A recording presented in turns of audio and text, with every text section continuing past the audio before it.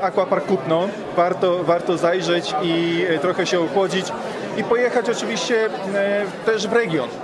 Jeżeli zabierzemy rowery ze sobą, łódzką koleją aglomeracyjną, e, to będziemy mogli w niedalekich odległościach e, 15-20 km e, pojechać do zamku w Oporowie, e, pojechać sobie do e, Woli Raciborowskiej, gdzie będzie można też przenocować, e, zobaczyć okolice, e, pojeździć po lesie.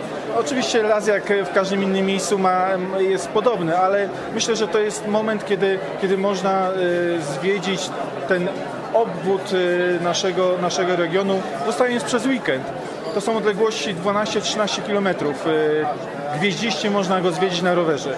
Jeżeli byśmy chcieli się wybrać e, własnym samochodem, to także e, tu już nawet dalsze odległości, jeżeli chodzi o Kutno. 20 minut można do Gostynina pojechać, e, nad jezioro jedno czy drugie. E, Można pojechać do Łęczycy, wybrać się, tak? Zobaczyć, e, co się dzieje w Tumie, czy tam dalej trwają wykopaliska, co się dzieje z tym grodziskiem, które zostało znalezione. Trochę dalsza odległość, ale to w drodze powrotnej. No jak zawsze tutaj u niej wody termalne, tak? Ale to już jest droga powrotna do, do Łodzi. Do Krośniewic, zobaczyć tą ostoję, ostatnie momenty, kiedy chyba ta wąskotorówka jeszcze gdzieś istnieje, e, gdzie można za, za, zajrzeć do Muzeum Dunin Borkowskiego.